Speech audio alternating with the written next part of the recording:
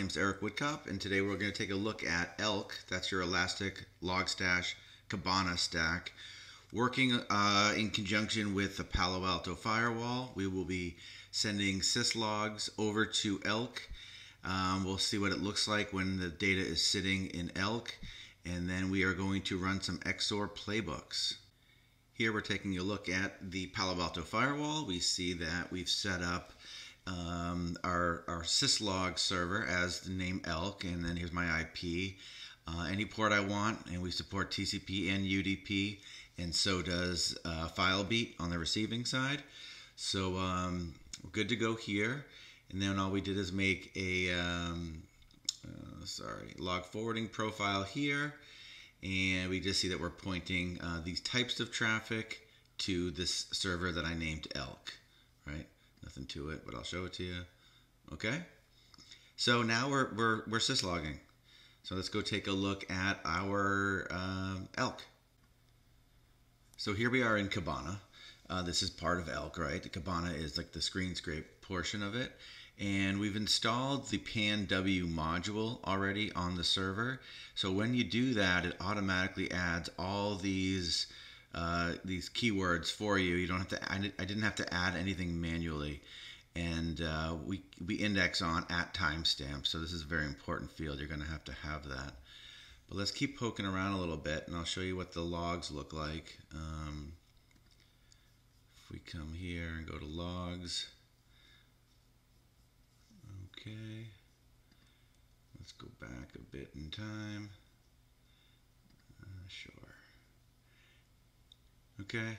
Um, these fields are all easy to customize. I just go to settings and when I come down here I can just say oh I want to see I don't know like uh, you think of something uh, you know uh, I already have destination IP uh, how about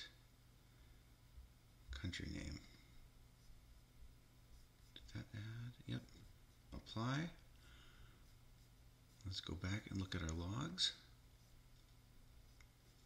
And we have a country. Right? Pretty cool. You can live stream, and all that does is keeps pulling it and looking for new data. Uh, well, I don't have any new data today. Uh, but these are the fields. So then you can drop down, you can drill in, and it automatically parses all these values for you as you can see.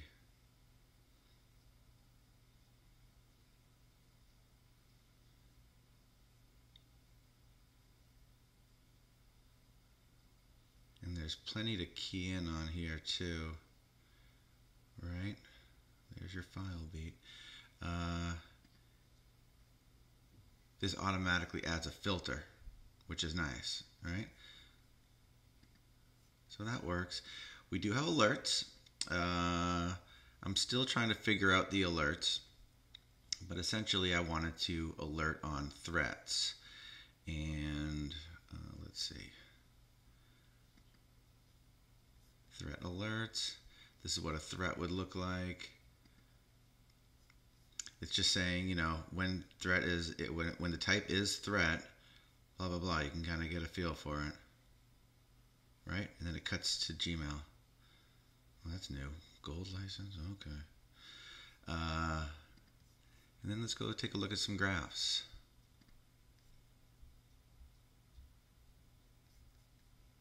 Let's go back in time. Uh, there we go.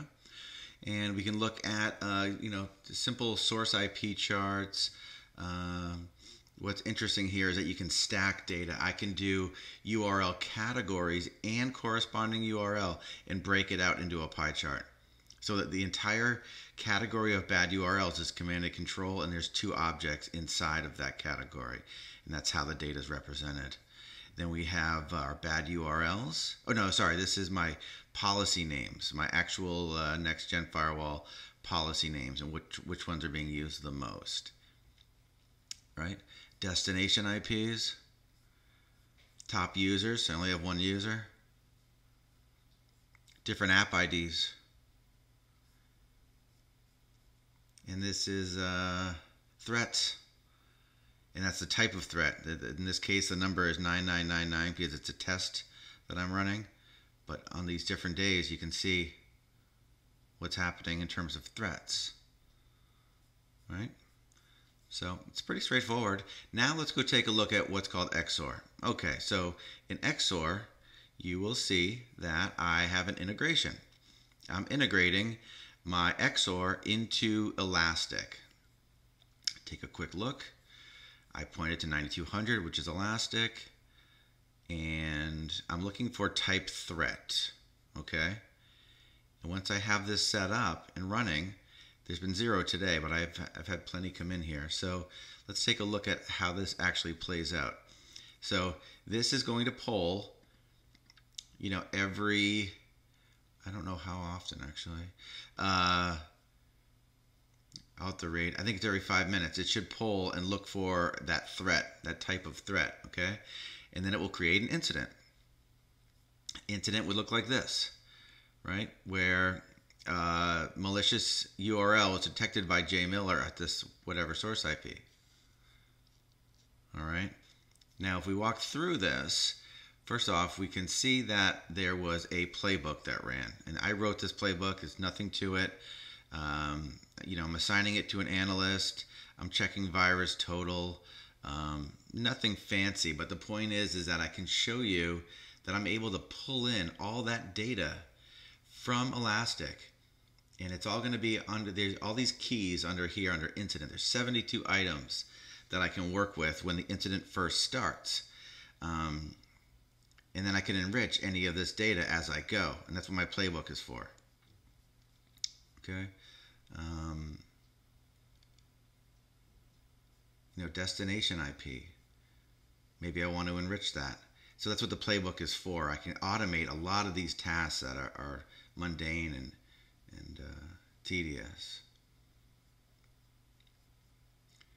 Okay, and then what you end up with is a war room.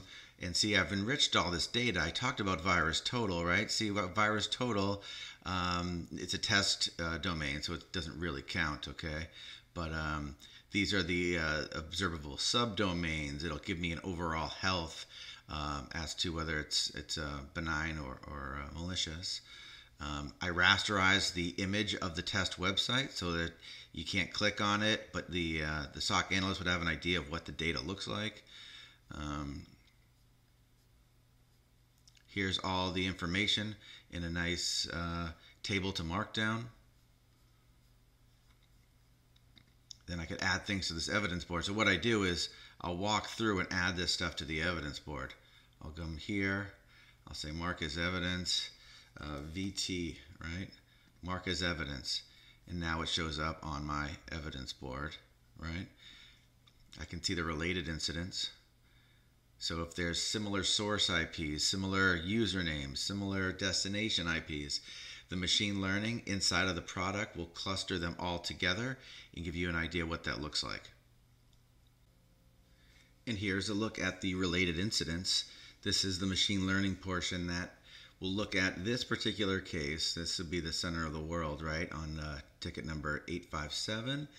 And then we go, uh, you know, um, before and after 30 days in both directions, as you can see here. And you can see that there is, uh, if, if, if, it's type of URL, then it's an orange. If it's uh, square, it's active. If it's circle, it's closed. And you can click on and figure out what the related incidents are. So it's a good indication if you're under some kind of uh, attack campaign. If you have a lot of tickets that all reference the same source IP, it's nice to visually put those together. Same thing here. This is called the canvas. This part's fairly amazing. Um, these are the cases, and these are the indicators on the right. And we've made a, a, a graph out of all this, and you can visually see what's happening and you can move things around.